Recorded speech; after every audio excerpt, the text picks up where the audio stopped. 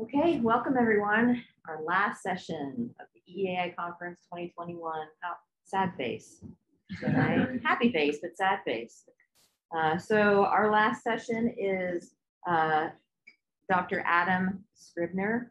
Uh, he will be talking about educating for environmental change. Uh, learn about Educating for Environmental Change, a free Indiana University program that helps educators effectively teach climate change and participate in exemplar lessons designed to surface students uh, thinking and addressing common misconceptions pertaining to environmental science. Dr. Adam Scribner is the Director of STEM Education Initiatives at Indiana University School of Education, where he bridges theory to practice to develop transformative STEM teaching and learning experiences designed to foster the next generation of engineers, scientists, creators, and innovators. His expertise lies in the areas of the design of K through, K through 12 STEM curricular resources, as well as teacher education and professional development around the integration of multiple STEM disciplines. Dr. Scribner currently serves as principal investigator of Educating for Environmental Change, a project supported by the IU Environmental Resilience Institute that aims to provide, and sorry, aims to improve the teaching and learning of climate change in K through 12 schools. Welcome, Dr. Scribner. Thank you so much. Thank you all for being here this morning. Uh, it really is a testament to you that uh, not only are you here at the EEAI conference, but the fact that you're here on a weekend, you give up your time uh, for, for ultimately your students. And I think that that's a wonderful thing. So thank you for being here. Uh, I am going to be talking about educating for environmental change. Well, now it's not working. Tassie. Nevin, we just got it. I know it. All right. Uh, I am going to be talking about educating for environmental change today. Um, and I have a, uh, an aspirational agenda. I'm going to try to do three things in, in this period of time, uh, but I'm going to move relatively quickly through each. So first thing I'm going to do is I'm going to talk about our program, Educating for Environmental Change, and how you can get involved in it. Uh, the second thing I'm going to do is talk a little bit about one strategy that we employ to surface student thinking and address common misconceptions in students. And then the third thing is I'm going to do just an overview of an exemplar activity. And in this case, the exemplar activity is about ice cores. So let me start off by talking about, uh, oh, just going to move us forward. I think I broke it. you know what? You it wouldn't be the first time. It's okay. Right. There we go. So first and foremost, Educating for Environmental Change is a professional development program uh, for K-12 teachers and informal as well as formal educators. All of you are welcome to come to, to our programs. Um, and what we do is we provide support uh, and follow-up and follow-up classroom support to teachers uh, to effectively teach the, the science and the policy of climate change. Um, but climate change is just one of many topics. I'll talk about that in a second. Um, and more importantly, through this program, we are developing a professional learning community of educators throughout the state of Indiana and beyond uh, that are teaching climate change. And so we're trying to support our teachers in many different facets of teaching climate change. Um, overall, the program is designed to help teachers overcome barriers of misinformation uh, and provide age appropriate and grade level appropriate resources to teachers um, and ultimately improve teacher practices. One of the things that's, that's really unique about our program is it's not just me. Uh, this program is made up of an incredible team of IU environmental scientists, uh, some local K-12 teachers, uh, as well as some informal educators, specifically at Wonder Lab. And uh, our program is really designed to get teachers to think about how they can teach climate change and also to support them in their efforts. Sorry. So a lot of people have this idea that in the state of Indiana, uh, there's not a lot of support for teaching climate change, but in fact, there is quite a bit of support for teaching climate change uh, in the K-12 classroom and in the informal environment as well. In fact, 72% of Hoosiers agree that schools should teach children about the causes, consequences, uh, and potential solutions to climate change. And so, and overall, although this, this slide does not show uh, that they believe that this is human caused uh, global warming, uh, the average American does believe that the climate is warming.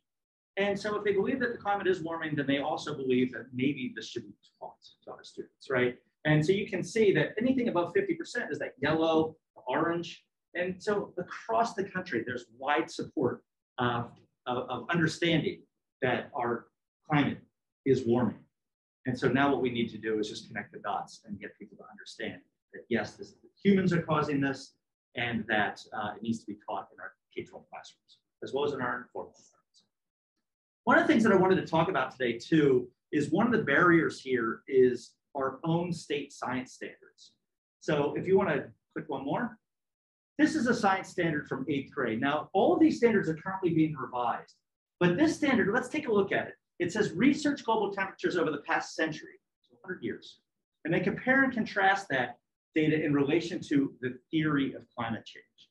Now, if we just look at the standard in general, uh, you might look at it and go, okay, well, it's a standard that explicitly uses the term climate change, and that's a good thing uh, because it might provide support to teachers that, to say, hey, listen, you should be teaching about climate change. But at the same time, if all you're doing is looking at temperatures for 100 years, you're not going to have adequate data to understand climate change or to teach students about climate change. And then secondly, I have no problem with the use of the words theory of here. Uh, if we're going to be talking about science, then theory is a common term in science. Uh, but we don't talk about the theory of gravity in our standards. We don't talk about the theory of evolution in our standards. We're only utilizing it here for the theory of climate change. And so what I'd like to see in our next revision uh, of Indiana state standards is that this gets revised and that we're talking exp explicitly about climate change without that in front of it.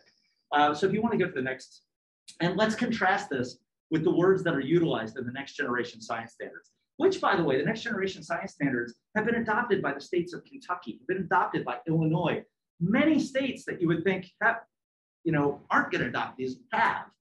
And so this is language that's in their state standards. So they should also be in our state standards.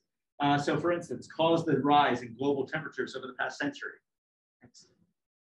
Or uh, changes due to human activity. Or climate change in general, just the explicit use of that term. So this is just one barrier that teachers have here in the state of Indiana. And hopefully we'll be overcoming that uh, when we revise the standards in the next uh, year or so. One other uh, misinformation that's out there, I'm sure that many of you have seen this book before or heard about this book, the Heartland Institute. What do you say, Jim? Was it like seven years ago, eight years ago? Sent this out. It said 350,000 teachers in the United States um, received this book titled Why Scientists Disagree About Global Warming, which ignores the consensus, the, the, the consensus that there is uh, about global warming and human caused uh, climate change. Um, and, and one interesting thing is that uh, there was a survey done in 2017 that, that asked the teachers about this book. And many of the teachers that, that they surveyed said, well, it'll help us teach, quote, all sides. Uh, again, ignoring that this is a one-sided issue.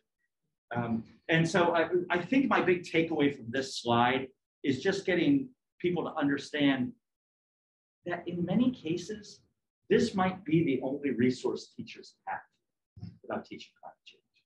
So we have a lot of work to do. Um, yes. It wasn't just teachers, state legislators. State legislators as well. Yeah, but I think that 350,000. Uh, yeah. Okay. Yeah, but I know I know that the bulk of them went to, to teachers. Yeah. Mm -hmm. Excellent. Thank you. So who's on our team? Again, we've got a, a team that that cuts across many disciplines at Indiana University. We have people from SPEA, from biology, from physics, uh, the Environmental Resilience Institute, from the Center for Rural Engagement, uh, myself from the School of Education, and then we have people from uh, WonderLab Museum and local veteran teachers. Uh, our core team, what I love so much about these people is the bulk of them are scientists, but they, they not only care about their science, they care about how their science is communicated. And one of the unique things about our program is that I remember when we started the program, I thinking, this will be so great for educators. They're going to have access to IU's climate scientists. This is fantastic. But what's happened is an unexpected consequence is that there's actually bidirectional benefits. Our scientists now think so much more about how they communicate their science because they're working with these experts in communication. They're working with these, these K-12 educators. So it's really been a great program for, for all the people that are involved in it. Now, all of our programs, we have, we have lots of different programs, but, but our core driving questions that we utilize in our programs is how do we know the climate is changing? How are humans accelerating these changes? what are the impacts of these changes, and then ultimately what must be done to mitigate the severity and impact of climate change. But our topics are not just about climate change, although they are subsequent to topics of that. Uh, we also talk about biodiversity loss, the degradation of soil and water quality, changes in biogeochemical cycles, invasive species. And of course, we don't want to just teach students about the problems of the world. We also want to empower them to solve them. And so we talk about engineering solutions and policy solutions, and of course, things that they can do to help uh, advocate um, in their own community, in their own communities. So, so what do we do? We do a lot of hands-on activities, everything from ice core investigations, which I'm going to show you in a few minutes how we do that, uh, sampling tree cores. Next slide. Uh, we do a lot of science lessons. Again, we, we um, our scientists think a lot about how, are, how they're teaching science in their own classes, and then how we can bring that down to a high school level, to a middle school level, and even to an elementary school level. Um, one of my favorite activities that we do is, uh, this is Richard Phillips, and he does an activity where we do soil respiration. Um, and we get students to, to think about it not only qualitatively, but quantitatively, which is something, so in other words, the students can quantitatively see how much carbon dioxide is absorbed by uh, soil. But on a young, when we work with younger students, they look at it more qualitatively. Next slide. Um, and then, of course, we do poster sessions with not only our climate scientists, but also their graduate students and their undergraduate students. So again, what we're doing is we're, we're getting our scientists at IU to think more about how the science is communicated. And three years ago, I think it was, we know that there are a lot of students uh, that are not getting science at the elementary school level. And so anytime that we can provide our elementary teachers with science-specific topics, um, professional development in science, they go back to their classrooms excited. Um, one of the things that's interesting is that science is not taught at the elementary school level, but when you survey students at the elementary school level, science is their favorite subject. And so we should be utilizing science. And, and the, the argument is always, well, you know, you got the curriculum bullies of mathematics, you got the curriculum bullies of literacy, but you can utilize science as a vehicle to teach literacy, as a vehicle to teach mathematics. So making sure that we provide science-specific professional development to our uh, elementary school teachers is paramount to, to getting students to understand uh, climate science and also, of course, just to be scientifically literate. Next slide. We are very excited this year that we have some new uh, workshops. The geoengineering workshop took place in October, but it's not too late to sign up. We have two or three spaces left in the natural disasters workshop that's coming up next weekend. So I know you want to, you love giving up your weekends. So, so this is for you. Next Saturday, we're doing a workshop um, and we have Cody Kirkpatrick and uh, Mike Hamburger, who are fantastic um, uh, professors of Earth and Atmospheric Science. And they're going to be talking about natural disasters.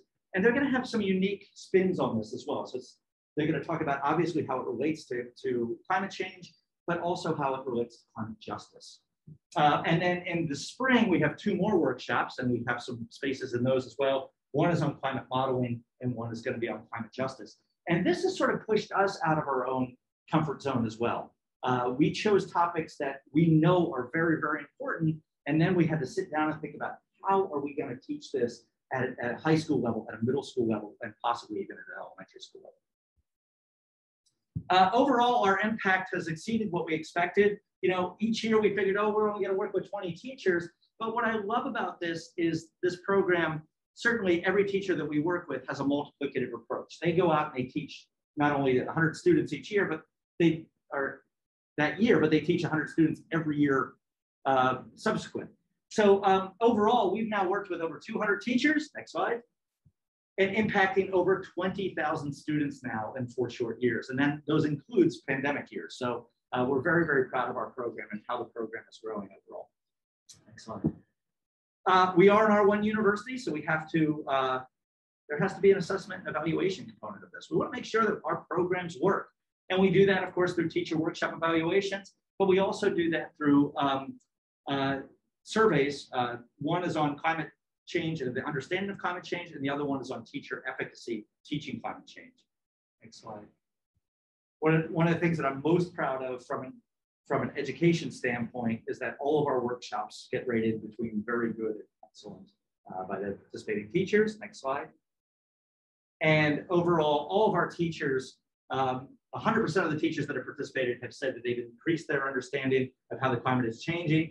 97% said that they, they increased their understanding of how humans are causing climate change, and 100% uh, agree that they expect to apply what they learned in class, which is really, really important because we have so much professional development. Like you guys this weekend were given so much stuff. And now what you adopt and what you apply from this, this conference it may only be a small sliver of what you actually learned this week, right? So one of the things that we're really, really proud of is that our, our adoption and application rate of our teachers going back into their classroom and teaching climate change is really, really high. Carol Mullins, I see your question. Have you thought about train the trainer program to expand outreach? Train the trainer is really, really great if you have scripted curriculum. So if I if I just go to you and I say, here's a great make and take uh, activity that you can do with students, then train the trainer can be very effective that way. Um, but if what we're trying to do is create sort of these bidirectional benefits between you and these IU environmental scientists, it takes a little bit more work than that. And so one of the things that, that we find is that climate change is a topic that is not easy to teach. Hmm. And so train the trainer uh, I think would lose its fidelity in our professional development model. Uh, it's not to say that I'm against train the trainer. I think anything that, that we're doing to get more teachers teaching climate change is good. Uh, but I'm not 100% convinced that train the trainer is the right model for that. But that's a really, really good question.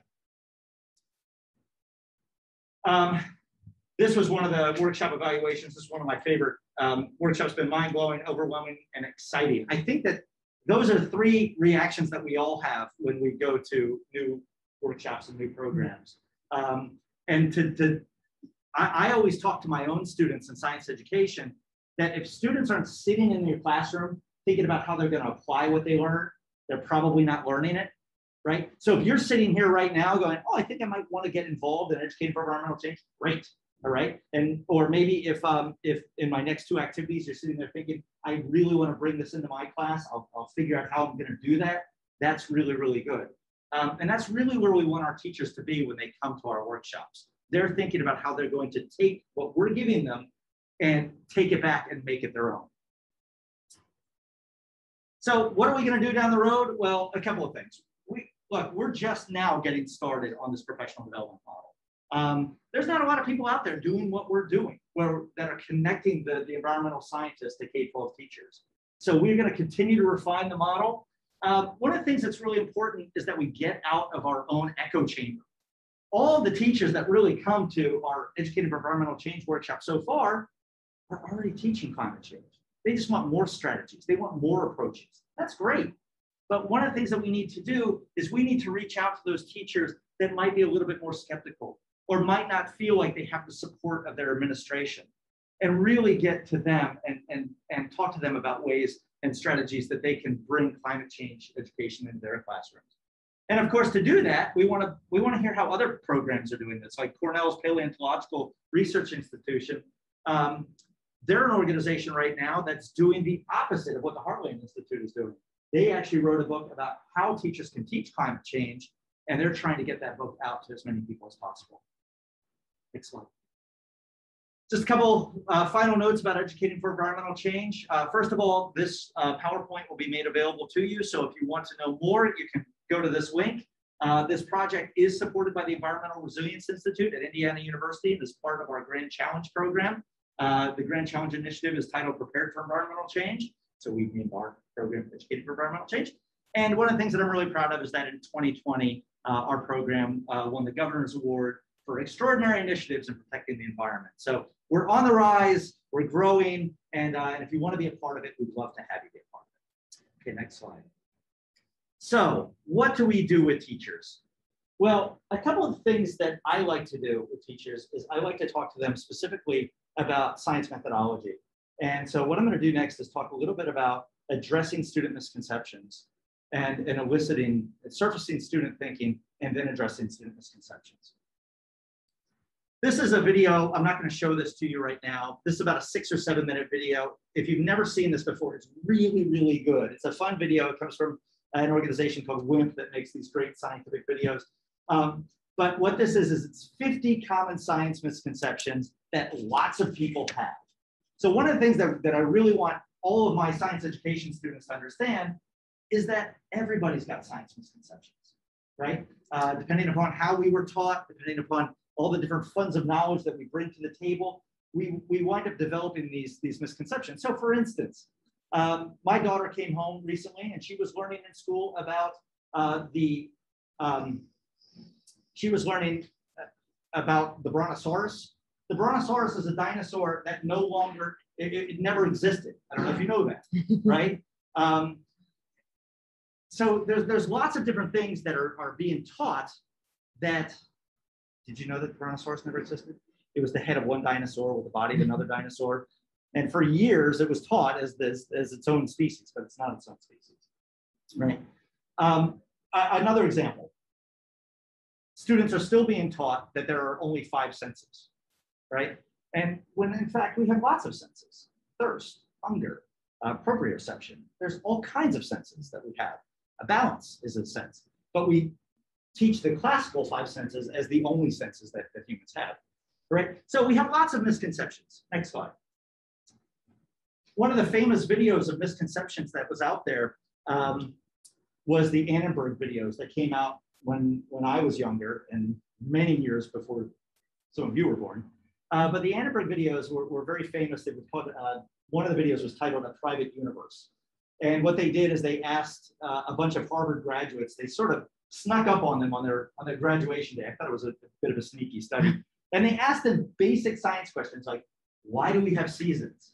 And so you would go, oh, they went to Harvard. Of course they'll understand that, you know, we have seasons because of the tilt-of-the-earth's axis and the parallelism of the tilt. And many of those students said, oh no, we have seasons because sometimes we're closer to the sun, sometimes we're farther from the sun, right? So a lot of adults have scientific misconceptions. And I think that accepting that and then going, well, how do we surface these misconceptions and how do we address them is really, really important in any sort of scientific endeavor. So uh, next. So one of my favorite stories that came out of Annenberg was they asked a student, for instance, uh, he was an elementary school student, and they placed an apple in front of him. And they said, how do you see this apple? And he goes, well, I got this. They look at the apple and energy shoots out of my eyeballs and it hits the apple. And then it bounces back into my head and then my brain interprets it. And they're like, that's amazing. Like that is a very interesting idea and they said, um, could you draw it for us, right? Which is really important in, in science education, getting students to, to draw it. In science education research, we call this making two-dimensional conceptual models, but it's just a drawing, right? And so we asked our students to make drawings. So they asked him to make a drawing, and he showed like lightning shooting out of his eyeballs. and they're like, this is so interesting. How did you come up with this? And he goes, oh, I watch a lot of nature shows. And they said, what, what shows in particular? And he goes, Oh, I was watching a show about bats. And so, you know, we're all shaking So at first we're sitting there going, This kid's nuts. And now we're sitting there going, Get it. What that student did is what we want all of our students to do. We always talk about in science education, all my students, they never transfer knowledge from one concept to another. That student transferred knowledge, right? He was transferring this idea of bats echolocation to how he sees. Which, by the way, there's another science misconception. Bats have eyes. They see. You're, you're an environmental education. Anyway, but the point is, is that that student transferred knowledge. And so if no one ever elicits that knowledge, and if no one ever addresses it, that's an adult walking around thinking that energy shoots out of his eyeballs, right? Next. Now you might sit there and go, well, a lot of elementary students are going to have misconceptions. But what about older students? By, by the time they get to high school, they don't have misconceptions. There was a great study by Vanessa Kind in 2007. And what she did is she went into AP chemistry classes and she said, um, here's Alka Seltzer and here's water. when I drop Alka-Seltzer into water, I want you to draw what's going to happen. And the students went ahead and they started drawing. And some of the students wrote things like, it's a chemical reaction. They knew it was a chemical reaction. But some of the students, these are AP chemistry students, wrote things like bubbles trapped in Alka-Seltzer, which tells you that they have no fundamental understanding of what a chemical reaction is. Now, on a multiple choice test, they're going to get the question right. They might even be able to balance the equation. They might even know what the reactants and the products are. But they have a fundamental misunderstanding of the basic concepts of chemistry. And so if we don't surface the student thinking, then we're not going to be able to address it. So how do I surface student thinking or how do I get uh, my science education students or educating for environmental change students to do it? Next slide. We use these great formative assessment probes. And no, I didn't write this. I wish I had. Um, uh, if you've never seen this before, have you seen these books before? These come out of NSTA Press. They're called Uncovering Student Ideas books. They're written by um, a former teacher. Her name was Page Keeley. And she took the hard work out of this for us. What she did is she wrote a whole bunch of books where she looked at what are the misconceptions in science in different topics. What are the misconceptions in biology? What are they in chemistry? What are they in pre-K to two, right? And she looked at all these different misconceptions. And then she wrote these simple formative assessment probes. Next, next. Um, next. And this is the, yeah, so that's the way. That's okay, keep going. No, no, that's, Okay. that's all right. You can jump. Next.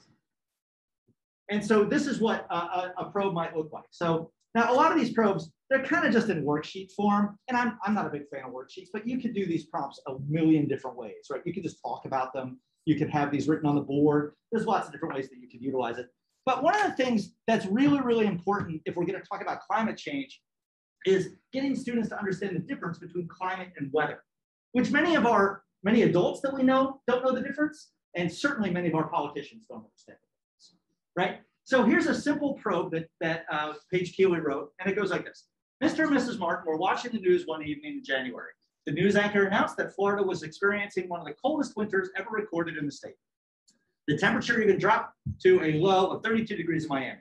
It snowed in some parts of Florida. Mr. and Mrs. Martin looked at each other and said, Mr. Martin, wow, that's the biggest change in our weather. Mrs. Martin, wow, that's the biggest change in our climate. and then the question is, who do you agree with most and why? Simple probes like that, right? And there's lots of them. And so there's probes about, you know, is this uh, is this part of global warming? Is it not part of global warming? There's all kinds of probes in here that are really, really good. So of course, what we want students to understand is that climate is very different than weather. The climate takes place over 30 plus more years, um, and weather takes place on a year-to-year basis. But what is the research behind this? Next. 80%, 80% of middle school and high school students thought it was true or mostly true that climate changes from year to year.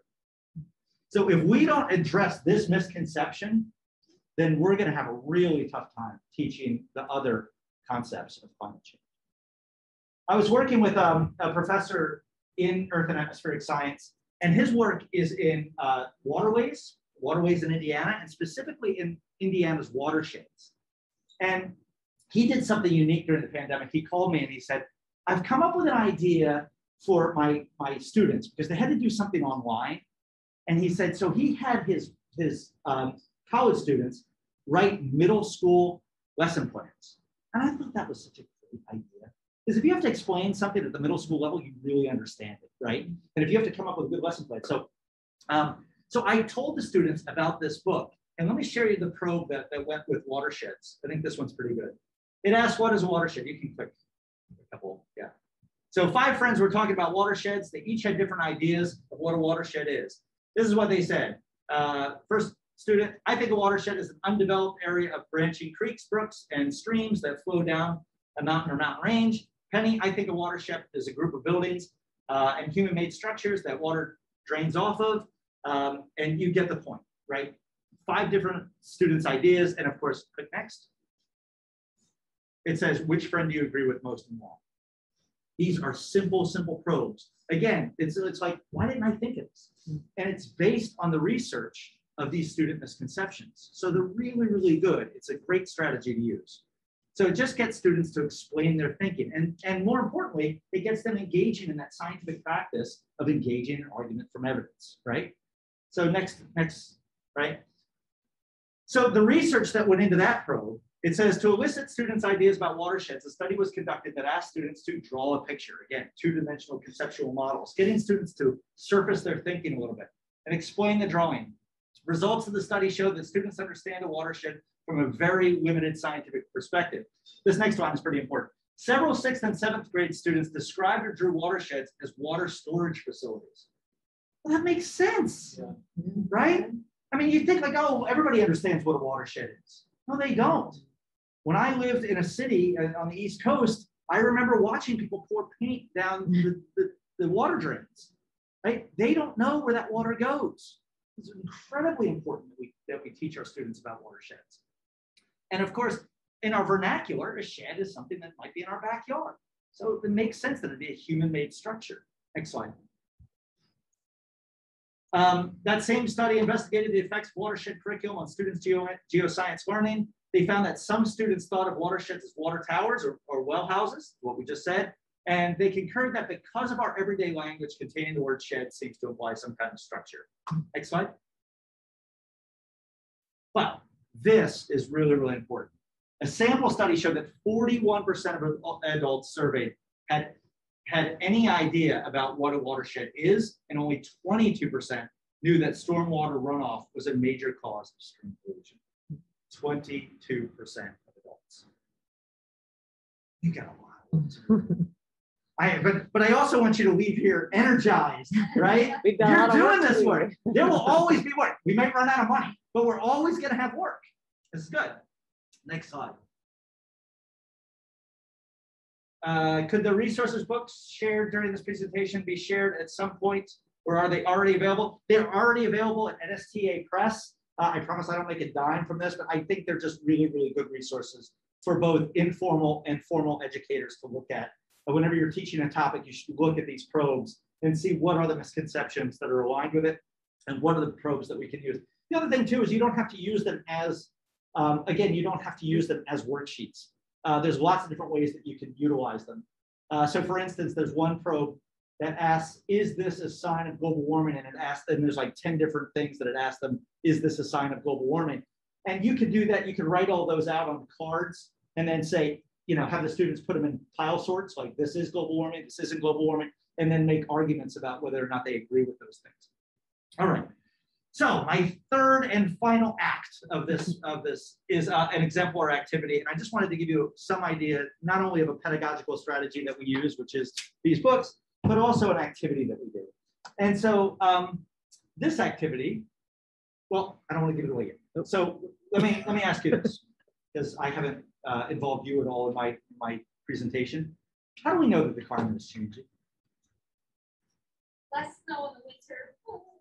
Yeah, for sure. I mean, we got a little of today, but yeah, little, but but we're definitely seeing seasonal changes, right? Yeah. What else? Um, if you look at the maps of the world, you can see the shape of Antarctica and a lot of ice around it is different than it was 1500 years ago. Yeah, for sure. So we could we could just look at photographs of, of glaciers and, and certainly our polar regions. What else? How else do we know climate? Uh, I'll also add bird migration because you've got birds that are and other animals are now migrating to areas. Yeah, one of my, by the way, one of my favorite probes that Page Keeley wrote is a probe about adaptation. And a lot of students have this idea that if we change the, if we change the environment, that animals will just be able to move to a new place and adapt. It is one of the most important things that we need to teach our students that these animals will not be able to survive if we change their environment rapidly. They will not be able to just adapt. They are not humans. They cannot manipulate their, their environment the way that we can. Um, so yeah, certainly uh, biodiversity loss and changes in biodiversity, and of course, bird migrations, animal migrations. How else do we know that the environment is changing? or extreme like weather. Yeah, our weather, of course, for, for sure. Natural disasters, absolutely, more frequent. Uh, our, our droughts, um, our, our rainy seasons. Yeah, for sure. What else? Fires.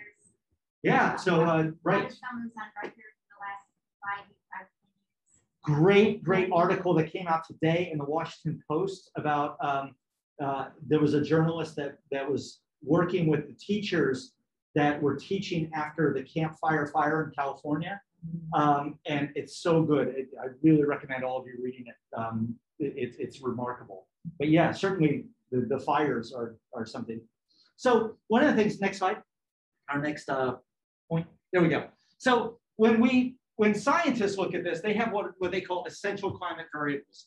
Uh, some are atmospheric, some are terrestrial, and some are oceanic. And it doesn't matter that students know all of these, right? I, I'm not a big fan of, of memorizing uh, this type of, of data, but getting students to understand what are the most important data points that environmental scientists are looking at so that we can understand climate science. And one of the one of those uh, data points, of course, is our ice. So this activity is investigating ice cores. Now, this, the next generation science standards really one of the, I think one of the best conceptual shifts in science education that's happened over the last 20 years is this is explicit use of models. And so here's my model of an ice core. I gotta put on my gloves because my hands can. Do any of you uh, use ice cores in your, have you done this before? These are relatively easy to make. Um, but I'll talk about how I made it in a second, but I just want you to take a look at it. What are some things that you notice about our ice cores? Bands or objects. Yeah. And so what do you think in real ice cores? This is my model ice core. What do you think in real ice cores would cause these bands? So if I were to go to a polar region, the Arctic or the Antarctic, and I and I take an ice core out of the ground, what would cause these bands to be made? Temperature. Temperature, for sure. So like the melting and then the and the freezing. And then what else? So it could, it could, especially if there's some glaciation and there's some movement. Um, yeah, for sure. But if we're in like a polar region, what do you think would cause the, the layers?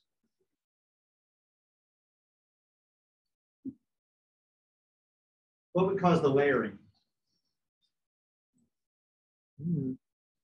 Got some ideas up there. Oh, oh, good. Sedimentation, freeze and thaw, cataclysmic events. Yeah, Carol, you're on it. Very good. I'll get. I'll talk about that in a second. So what's going to cause each one of these layers is that each year the snowfall is going to come down and it's going to get compacted. And over thousands of years, then we have these ice cores and we've got all of these layers. And it can tell us lots of things. So next slide, please. Next one. next one. There we go. Got it. All right.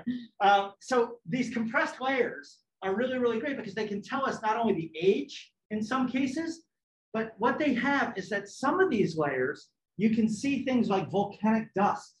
And that creates what we call reference horizons in our ice core. So if there's a large volcanic explosion, like I remember, I think it was in 2008 or 2009, I had a friend that got trapped in Europe by that, uh, an ice, that Icelandic uh, volcano that no one can pronounce, right? That thing exploded and it created this huge plume over, over Europe and it caused all planes to be grounded in that area. And so we know that when, when, when we look at ice cores, we can look and we can see, oh, there's a band that may have been caused by that volcano, right? Same thing here. So my model ice core has some different colored bands. Those different colors may be caused by volcanic ash or layers of dust. And of course, what's great about ice cores is they don't just trap the, uh, the precipitation. They also contain, when they freeze, they, they, they freeze air inside of it. So we not, we not only know uh, what the precipitation levels are of a period of time, but we can also tell by looking at an ice core what was in the atmosphere at the time.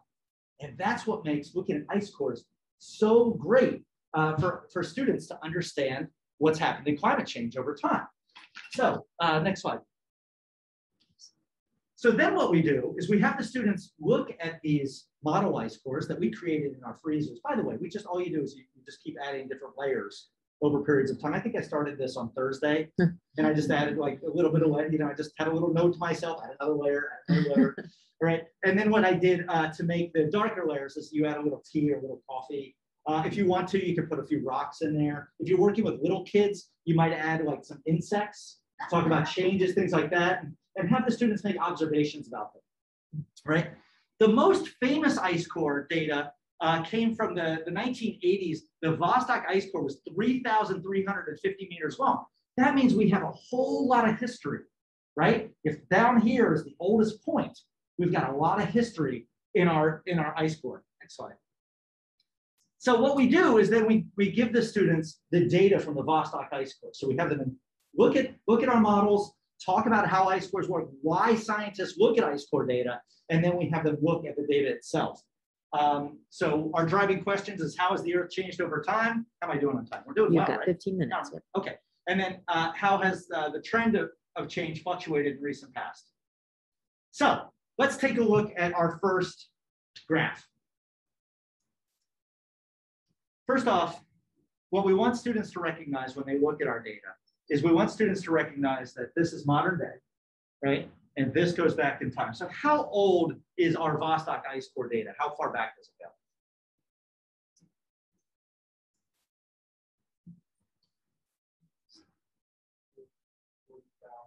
Yeah, somewhere in that range, 425 maybe. Yeah, you're sitting way back there. It's hard to see with these little things up here. It's about 425,000 years of data we can see. Now, what's happening here is that this is temperature that's rising and falling. And so, what do we notice? What are the, what's the lowest temperature that, that the Earth reached um, over 425,000 years? Just approximately. What are you thinking? Yeah, about ne- negative eight, maybe negative nine down here, negative nine, this is 10, eight. Yeah, so about negative nine degrees Celsius. What's the highest temperature that we reached?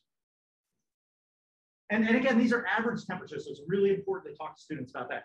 Yeah, so about three, okay? So what we know is over 425,000 years, our temperature has gone between about negative nine and three. And what happens is one of the things that's important to point out is that when we get down here, we're in an ice age, right? And when we get up here, we're coming out of it. So we have glacial periods and interglacial periods. Very good. Next slide. Now what we're going to do is we're going to zoom in on a few more of these data points in particular. So again, this is still Vostok data, and we're going to look um, specifically, go back one more. Can go back? We're going to look just at this portion of it. All right, so let's zoom in on it. Oh. Too far. There we go. So again, we're just looking at the temperature, and it's just got a few more data points. And so what we can see, again, is that the temperature goes up maybe, I don't know, about one degree and down to about minus six, somewhere in that range, maybe minus seven is the lowest point. Everybody got it? Now what we're gonna do is we're gonna look at the ice, ice core data. Instead of looking at temperature, we're gonna look at carbon dioxide levels. Next slide. What do you notice? You go back and forward. What do you notice? Yeah. Now, again, one of the things that's important to point out to students is that correlation is not necessarily causation, right? We want students to understand that. But we definitely see a correlation here. We can see a correlation between when the, when the CO2 levels drop and when they rise, it drops and rises with temperature, right? We see a correlation there. Also, what is the lowest point uh, in terms of carbon dioxide levels? Yeah, about 180. And what's the highest point? About 300. Does everybody see that? This is why I think it's so important for students to investigate ice cores, because when they start looking at the data, they can start really analyzing this for themselves. Next slide. Now let's take a look at CO2 levels over not 150,000 years. Let's look at it over 800,000 years. Again, we can understand this because ice core data helps us understand this. So the lowest point that we see with CO2 levels is about 100 and, I don't know, 170 parts per million, 160 parts per million. And the highest point that we see is about 300 parts per million. So over 800,000 years, our CO2 levels, lowest point, 170, highest point, 300. Everybody see that? And so having students uh, look at that is really important. The other thing that's really important to do when you're, when you're doing this with students, make sure you talk to them about what parts per million means. Mm-hmm. Like have them try to visualize like a million ping pong balls mm-hmm. and that a, a couple hundred of them. Does it really make that much of a difference, right? And then we can also talk about why carbon dioxide, why methane, why these gases cause these changes in our atmosphere. But we'll, we'll get to that next. All right. So we know that temperature has gone between, what do we say, minus nine to about three. And we know that uh, carbon dioxide has gone between about 170 to about 300 for 800,000 years. What's our carbon dioxide level at today? When I was born, it was at 311 parts per million, which is still kind of in line right? We've seen it at 300 before. It's not that far out of whack. We are now, in my lifetime, next slide.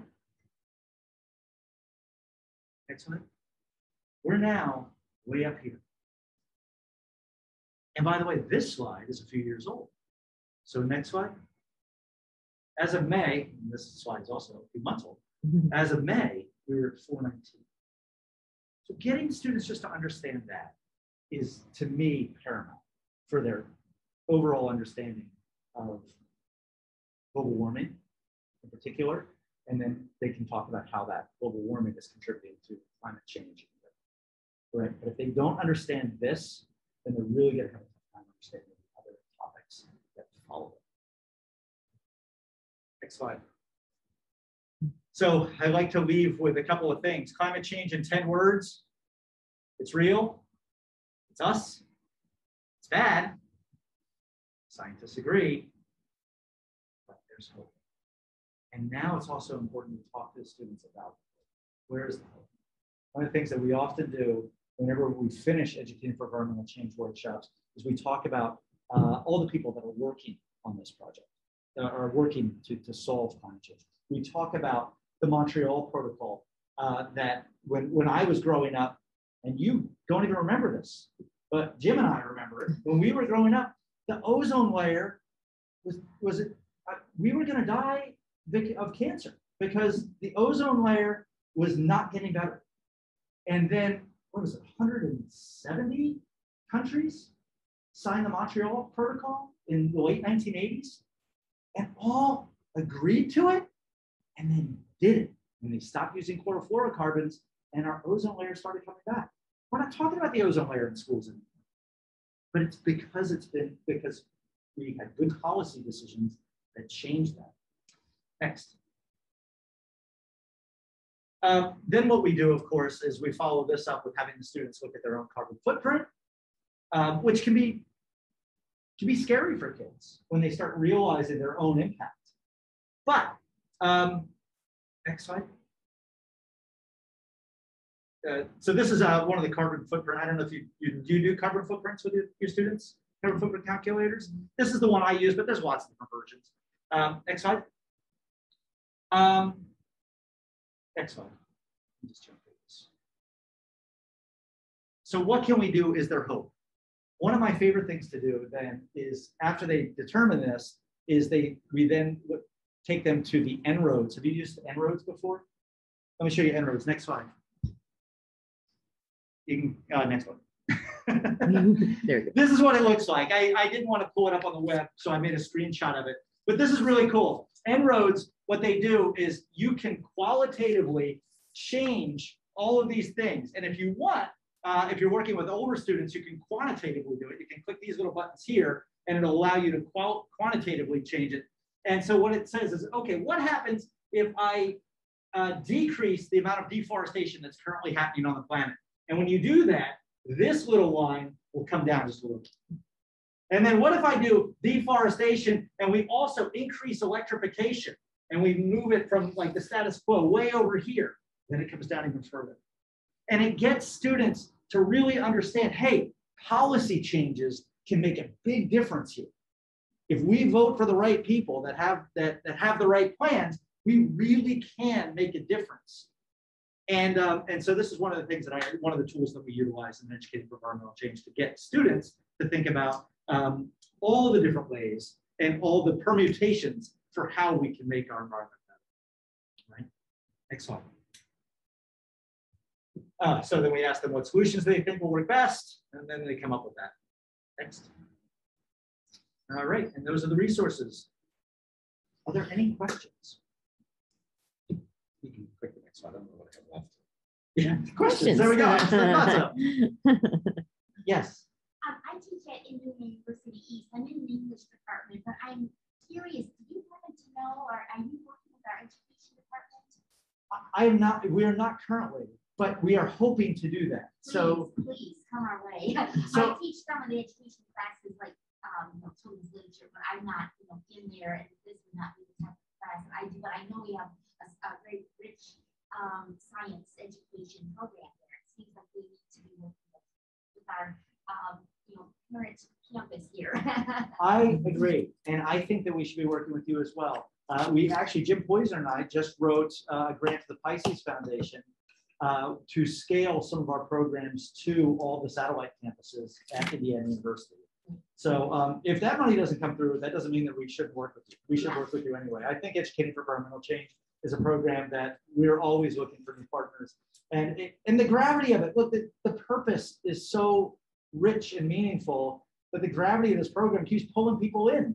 And that's what I love about it. So, um, you know, we get gra- undergraduate students, graduate students that just want to be a part of the program because they know how important this, this topic is. you may have had this experience as well, but I, when I also did um, climate change issues in my writing classes, and when I started teaching back in 2000 so, a lot of climate climate deniers, I felt like I was spending most of the you know, just the fact that they've all disappeared. I mean, they, these students come in, they know the gravity of the situation, and I, when I do this in a writing class, where I have of education majors, and I have to come up with a project that will solve the problem, their solution, of course, is teaching in classrooms, and they're very eager to know these things. So, but I think that I've got a lot of students from, from the center, from the regional campuses. So, yeah, we could just start closing the loop just within our system, that would be great. I think it's a interesting. Oh, thank you. Yeah, I totally agree. Um, I, I also want to just address this idea of addressing students that have, uh, mis- not- misconceptions, but, but are deniers or, Yeah, or skeptical. So one of the, one of the studies that came out recently, um, was one about the use of what's called evidence-laden narratives in the classroom. So we can't just throw data at students.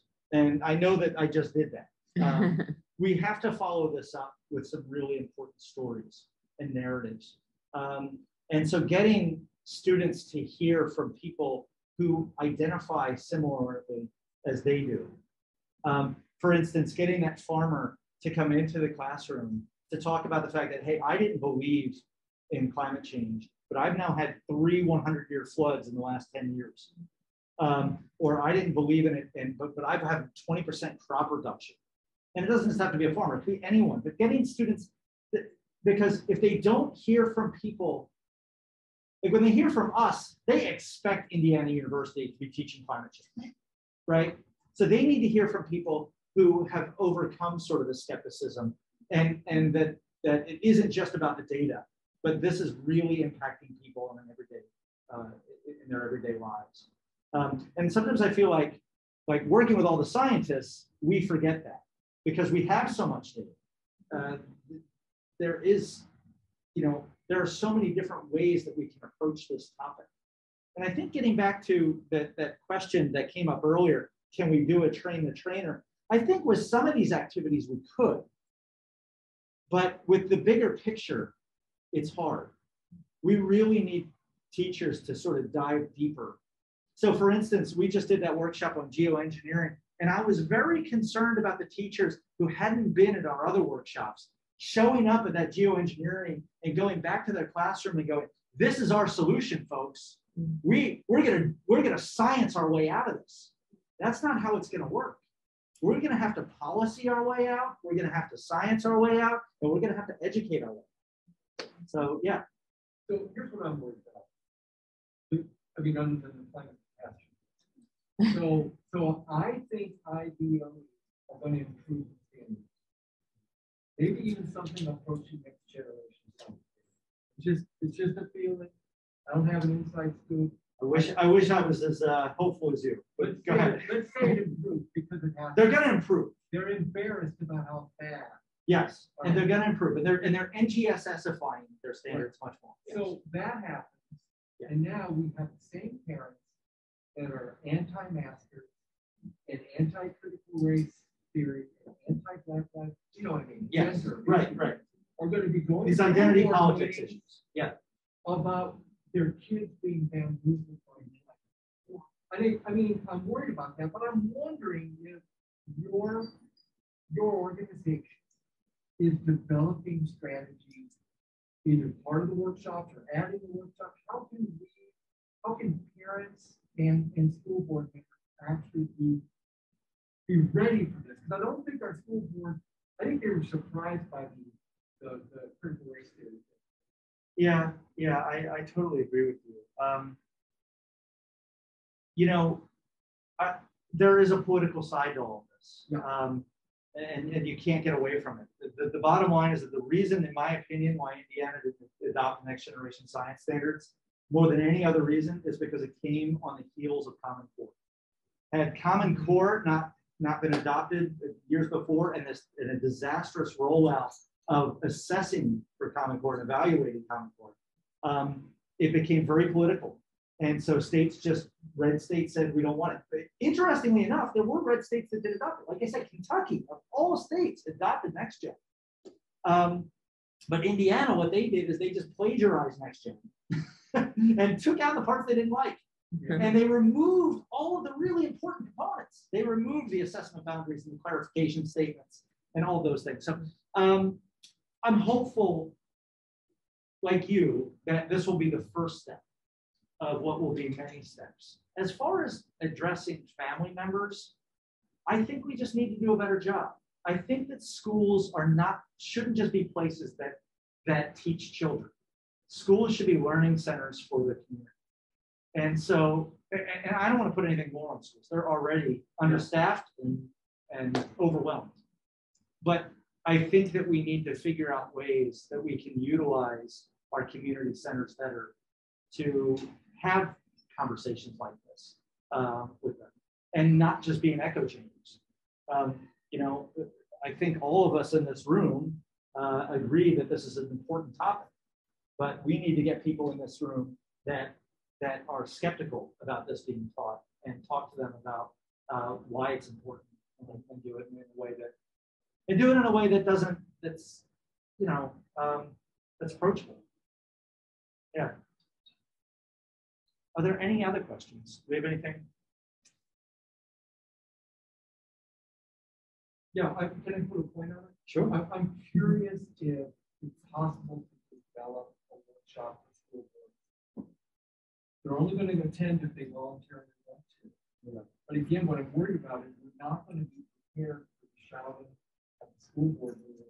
Everybody's so exhausted by the shouting.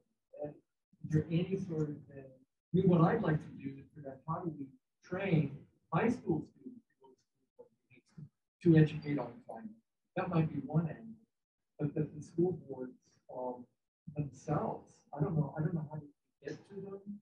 I don't know what that process would be. Well, such a great program, teacher. Is there a way to develop that program?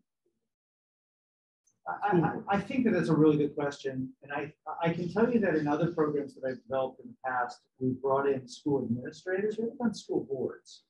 You But- but we know- this Grant for them. I know, we, we know how important it is. We know how important it is for schools, you know, if they're gonna, if they're gonna do transformative education practices, they need the support of administrators that understand what good, what effective practices look like. And so bringing those administrators to uh, the workshops can be a really effective uh, program. And, and, and so I think that might be a next step for educating for environmental change. I don't know if that includes school board members. I would love for it to. Uh, I, look, the more people we can get in front of these scientists, the better, because they're not only good at the science, they're really good at communicating. So if you come, by the way, next weekend, I know you love giving up your Saturdays. Hmm. If you come next weekend, don't think of it as giving up. Think of it what you're gonna get. Um, and there are stipends, by the way. So the hundred dollar stipends uh, for the teachers. But these two educators next weekend are phenomenal. They're really, really good. And they really care about their science. So I think it'd be great if, if uh, any of you want to come, we still have a few spaces. Right? Are there any other questions? All right. Well, again, thank you so much for sticking around on the final day of the final workshop. Yeah, Woo! It was good. Thank you very had A lot of competition too. Our keynote speaker, uh, what is his name? Dennis Schatz. Yeah. NSTA came in from Seattle to kind of dig in deeper from what his keynote was. Oh, cool. So it might be somebody that you, I, I know we don't have much time left, but I don't know if you guys can meet Dennis and. Yeah. some of the programming people. Yeah, I'd be happy to, to talk to anyone about our program.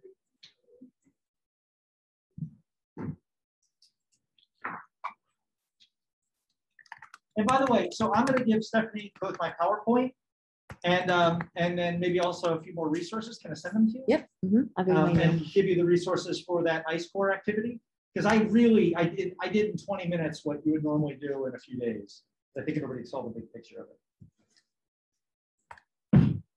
Hi, Carol.